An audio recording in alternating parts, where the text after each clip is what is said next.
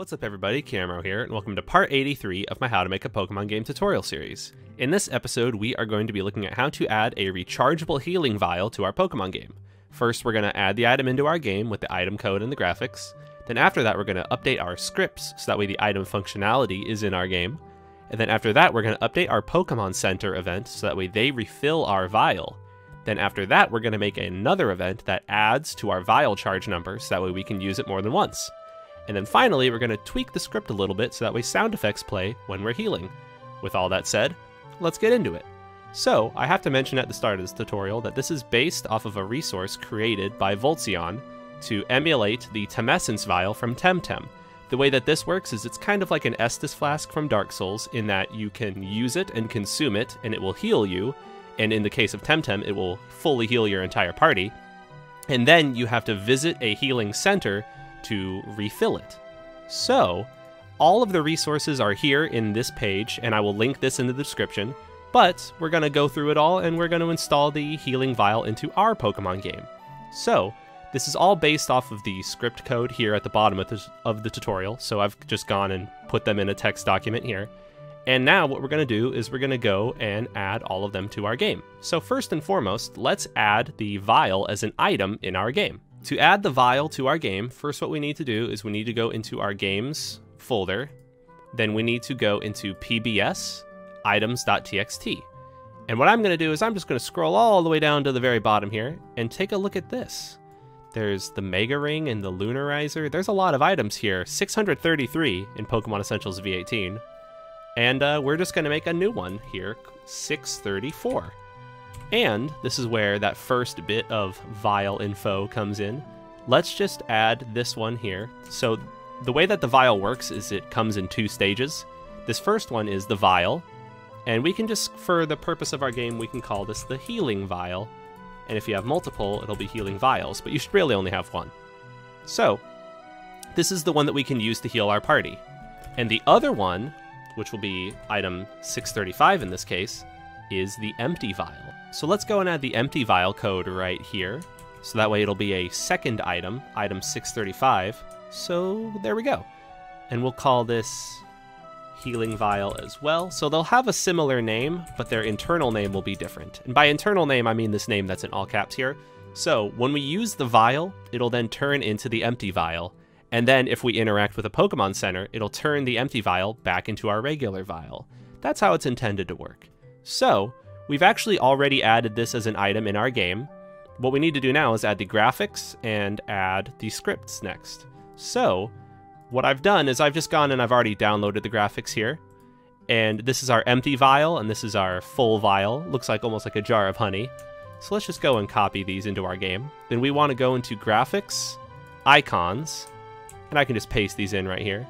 And what we want to do, actually, I'll go in the layer before, so that way it's easier to keep track. What we want to do is we want to call these, I believe, what, item 634 and item 635.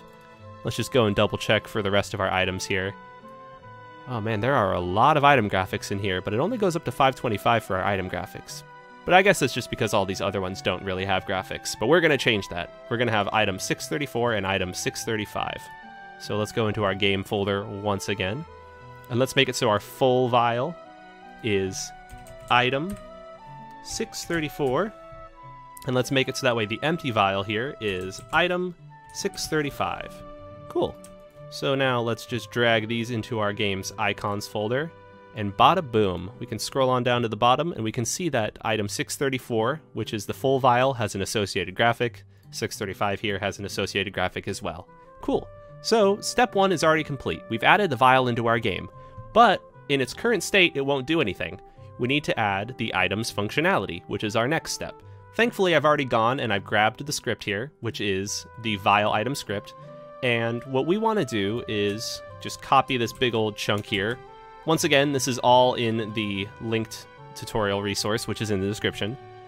But what we want to do is we want to take that and we want to go into our game scripts folder, and we can just type Control Shift F, exp all, because we want to put it around where the exp all is. So that's in our item effects, and we can just put it underneath the exp all and exp all off. So let's just go down here, paste it, and bada boom. So the way that this script works is it takes a game variable into account to see how many charges we have, and if we have more than one charge, it heals our whole party and then subtracts that game variable. And in this case, it's game variable 50.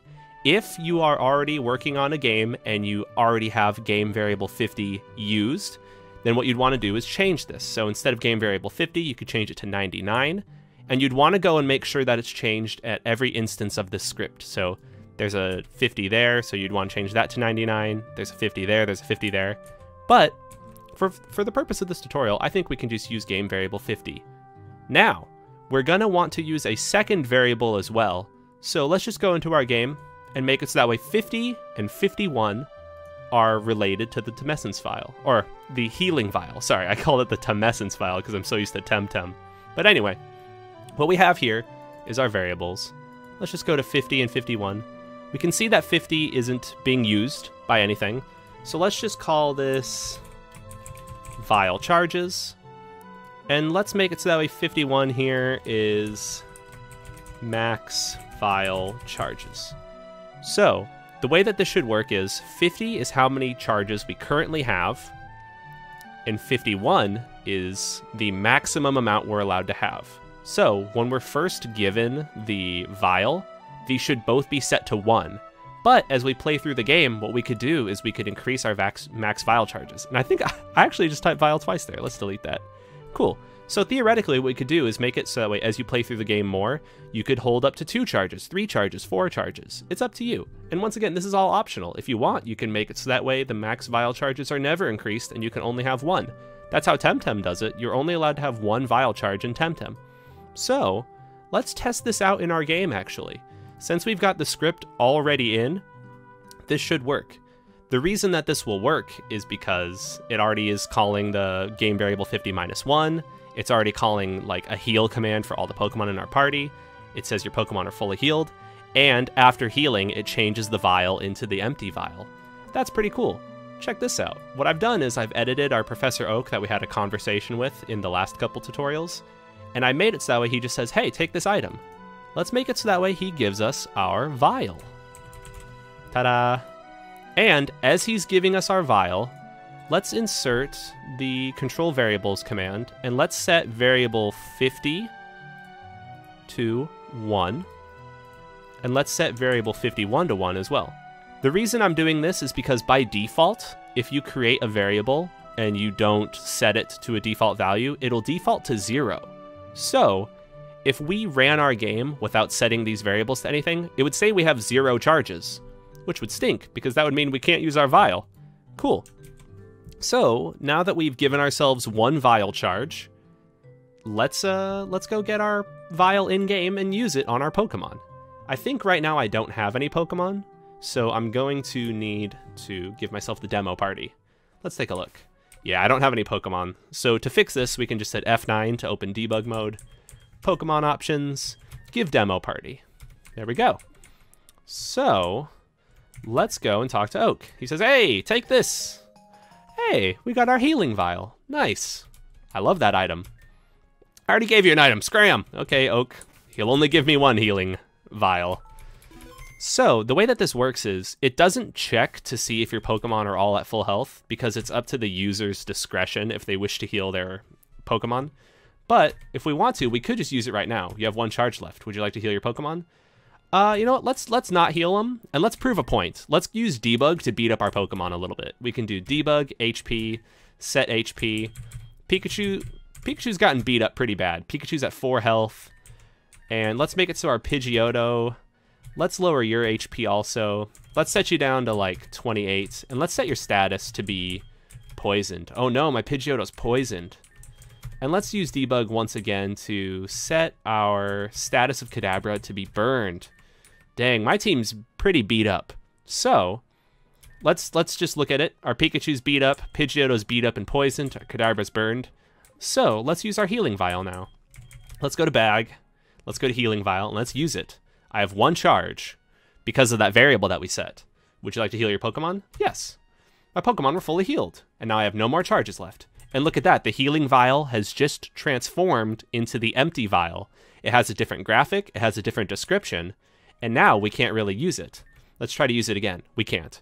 The reason I have this toss option here is because I'm playing in debug mode. Since it's a key item, you will not be able to toss this when playing standard. But look at that! Our my Pokemon team is fully healed. Pikachu's back up to full health. Pidgeotto's no longer poisoned. Kadabra's no longer burned. Our team is healed. That's pretty awesome. But now our vial can't be used anymore because we don't have any more charges in our vial, and it's the empty vial. So what we need to do now is, actually, you know, I'll save. And then what we'll do is we'll implement the next step. So we need to make it so that way if we go to a Pokemon Center, they can recharge our healing vial. So let's go to the Sodolon City Pokemon Center right here, and let's go to Nurse Joy. And let's make it so that way if we select yes to heal, it'll refill our vial. Thankfully, this is actually super freaking easy to do. The first thing that we want to do is we want to do control variables, and we want to set vial charges, which is currently set to zero right now, remember, because we've used up all of our vial charges. And we want to set this equal to the value of a variable, which is actually variable 51. So, what this does is it'll set our current number of vial charges equal to our max vial charges. So this was 0, this was 1, so then our vial charge count will become 1. And if we ever increase our max vial charges in the future, let's say we have 2 or 3, it'll set our current vial charges equal to 2 or 3, depending on how far we are in the game. That's pretty awesome. However, there is still another important thing that we need to do. The next thing that we need to do is use a script command to change the empty vial into the full vial. Let me show you. What we can do is base this off of the current script command that's already in our scripts. This calls Pokemon PB change item vial to empty vial. And one thing that's really cool about this is it already checks to see if you have the item. If you have a vial, turn it into an empty vial, and then vice versa. So what we want to do is take this and tweak it to do the opposite. Let's go into our Nurse Joy event up here, and underneath our variable setting, let's do insert then go to the third page and go to script command, paste that in. And since it's like being weird with the formatting there, let me really quickly run extendtext.exe. There we go. Now it's all going to be on one line. I always like looking at it like that. Anyway, instead of changing a vial into an empty vial, let's change an empty vial into a vial. There we go. So, now if we go and interact with Nurse Joy, she will refill our healing vial. So let's go do that right now. Let's go talk to her. Nurse Joy, I ran out of my healing juice. Let's uh let's just use debug and just walk through the walls here. And let's go to Sodolon City. Thankfully, it's just right up here to the north. And we need to make our way to the Pokemon Center. I wish I gave myself the running shoes. I could use debug and do that, but I'm already so close to the Pokemon Center. Come on, baby. We're gonna make it even though my team is fully healed. I don't really need to go to the Pokemon Center, but I want to. All right, here we are.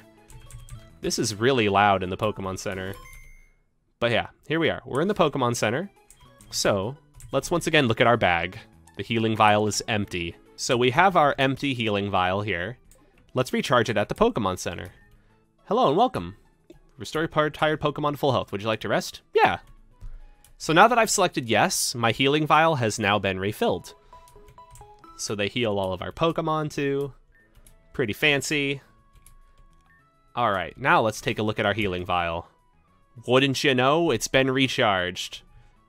Check it out. And if we use debug and go and take a look at our field options variables, we can go and see that our vial charge was increased to 1, or reset back to 1, and our max vial charges is still at 1.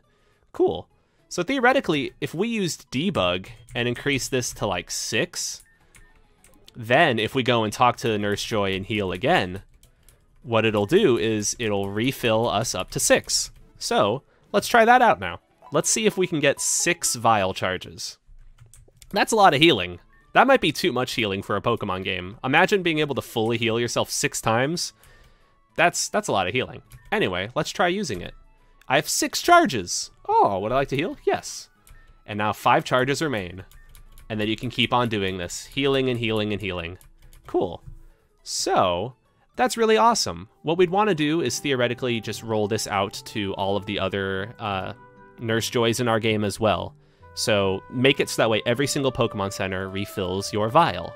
That's pretty great. Now, let's make an event for somebody who increases our vial charges. And this is actually going to be super easy. It's actually basically the same as Nurse Joy. So let's make this guy say, show text, hey, I'll increase your vial charges for free. So the way that you'd want this to work is actually the exact same as Nurse Joy. So we can go and copy and paste that. What it does is it sets our vial charges equal to max vial charges and replaces the empty vial with a vial. So that way he's also refilling for us. But you have to just add one more little bonus step. What you want to do is do control variables and set max vial charges to be add 1. So we increase our max vial charges by 1, then we refill our vial. And then we'll have him say, ta-da, enjoy. And then let's do control self switch A on. And let's just make it so that way there's a new event page where he disappears. so after he refills our vial, uh, let's make him say, I'm gonna disappear now. See ya. Cool. So, let's interact with this guy in our game now. Let's test this out. So, what we have here is an empty vial. Let's talk to this guy now. Hey, I'll increase your vial charges for free. Ta-da, enjoy. I'm gonna disappear now. See ya. Aha, he's gone. But we now have a healing vial that has been refilled, and let's use it. We have two charges. Would you like to heal? Yeah, let's heal. Cool. So let's once again use debug, because debug is awesome. Field options, variables. And let's go down to variable 50. Look at that. Our max vial charges has been increased, and our current vial charges is 1. If current vial charges ever drops to 0 when we're using our vial, then it'll switch to the empty vial. And then we can go and refill it at the Pokemon Center, where it will set the number back to our maximum variable count. That's pretty awesome. I think that this is just about done, don't you? Like, it looks really good. However, there is still one small thing that I would want to do, and that is add sound effects to play when we're healing, because it felt a little bit like empty or a little bit awkward that there were no sound effects. Thankfully, this is also super, super easy to do.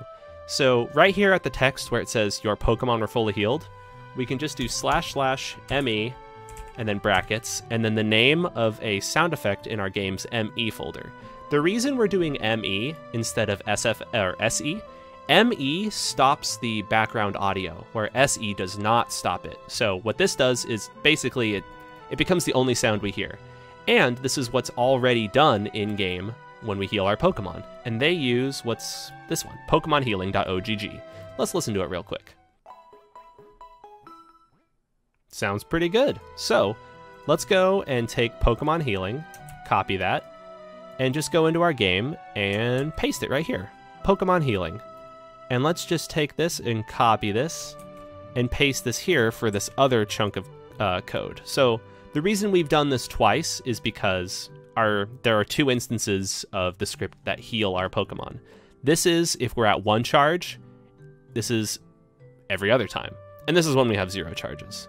So, now that we've added the slash slash ME, Pokemon Healing, let's go and try using our vial one more time. Alright, so we're in the Pokemon Center. We've got our empty healing vial. Let's talk to the dude once again to increase our vial charges. We'll see ya. Thanks, guy. Alright, let's use it. Would you like to heal your Pokemon? Yes, I would. Hey, our Pokemon were fully healed. One charge is remain. Ta-da! There we go. So now we've added sound effects that play when we heal our Pokemon. I think that's really freaking cool. Anyway, um, I think that about does it for this tutorial. Once again, thank you so much to Voltseon for putting this together. Uh, I put this in Pokemon Splice and it added a lot. I love this item. Uh, when I was playing through Temtem, I was a huge fan of the Temessence Vial, so I do think that adding some way to portably heal that isn't just potions, like, that vial is just, it's really cool. If you add it to your game, though, you do have to consider the the fact that it makes your game a lot easier, so you would maybe want to make battles harder or find some sort of way to balance around that. So this isn't something that you can just throw into your game and be like, hey, my game's instantly better. it's something that you'd have to throw in and consider and design around. But anyway, uh, I think that's about it for me. I want to say thank you so much once again for watching this tutorial. Hopefully you found it very useful, and hopefully some more games incorporate the healing vial, because I, I'm a Dark Souls fan, I'm a Temtem fan, and if you put this in your game, I'll be a fan of your game too. anyway, thank you so much for watching once again, I appreciate you, and until next time, I hope that you all have a good one.